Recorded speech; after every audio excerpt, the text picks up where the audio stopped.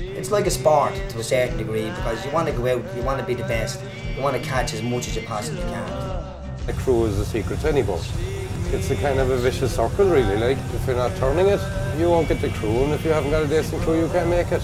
Just living on the edge all the time, anyway, that's all I know. As a skipper, I'm hard. I'm hard, but you have to be in this game. Shake that shit down. Come on. Come on, shake it down. The stuff we're getting is a bit small, so it's, it's harder to go through.